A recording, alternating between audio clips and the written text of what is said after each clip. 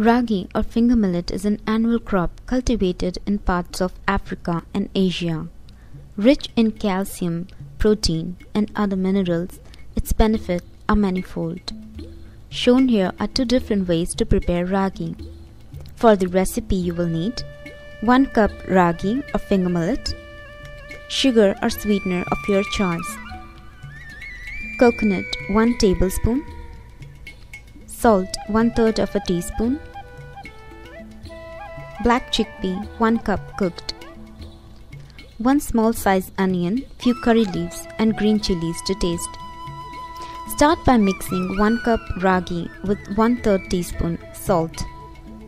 Make a crumble mixture by sprinkling about 1 3rd cup water resembling cornmeal. Arrange this mixture in an idli stand made for the purpose of steaming. If this equipment is not available, use a vegetable steamer covered with linen. Pour 1 cup of water into a pressure pan and place the stand carefully in the center.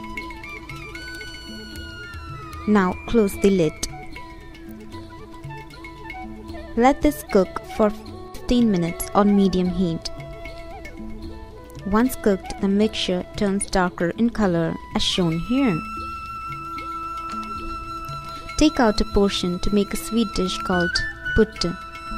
Add in the coconut and sweetener of your choice